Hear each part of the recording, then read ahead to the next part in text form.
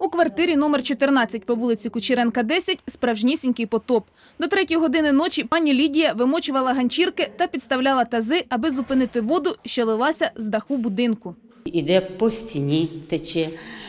По, по стіні з цієї сторони йде лічильники, заливає лічильники, лічильники стріляють, горять. Заливає в коридорі теж стінку, тече із електричних лампочок.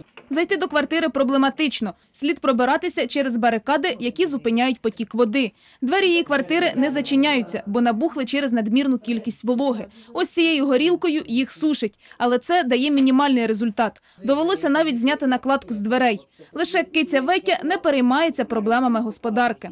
Натомість пані Лідія втомилася бігати та писати до всіляких інстанцій. Говорить, зверталася до ЖЕО номер 2 ще в січні, коли почав танути сніг.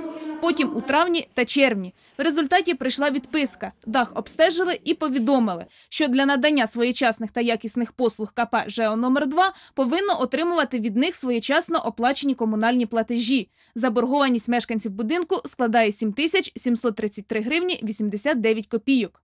Потім ходила до управління ЖКГ. Два рази ходила.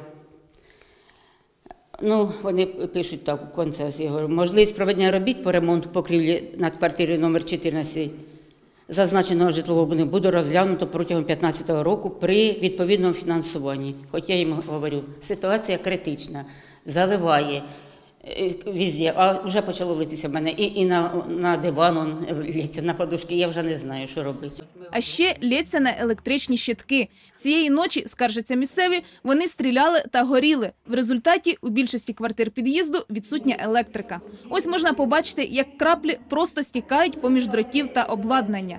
Мешканці втомилися жити у такій безвиході. Ну сколько можно мучиться, елки зеленые? Мы уже говорим, ну, ну правда, ну. Кому только вот и звонили, и говорили, так Жеку-то до лампочки, честно говорю. За что мы платим, я не знаю.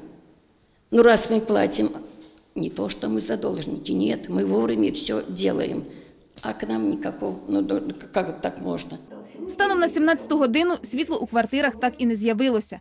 За інформацією прес-служби міської ради, будинок по Кучеренка 10 внесено до переліку на поточний ремонт покрівлі у 2015 році. Гроші теж виділені. Але у зв'язку з такою критичною ситуацією необхідно викликати комунальників, аби ті склали дефектний акт. За словами жінок, жедівці прийшли і обстежили ділянку. У такому випадку, пообіцяли в прес-службі, цей будинок буде поставлений першим у чергу на ремонт.